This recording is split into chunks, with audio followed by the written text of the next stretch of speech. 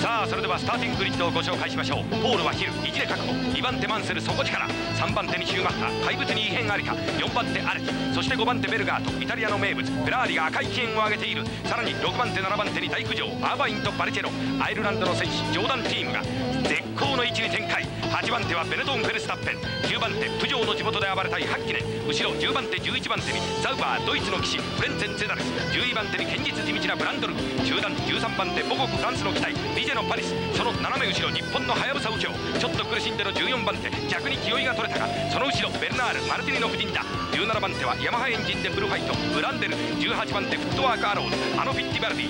19番手ロータス無限ハーバートそして地元ここは中にはラルースのコマス。さらに後方21番手スポンサーは神奈川クリニックアルボレート。22番手イタリアのトビウロモリビデッティお金持ちだ。後ろロータスのデンジャラス系ザナルディ。24番手はシムテックのブラマンコツコツいくか。最高列はラルースベレッタシムテックグーノンさあ26台が真夏のスコールのごとく1コーナーに降り注ぐ。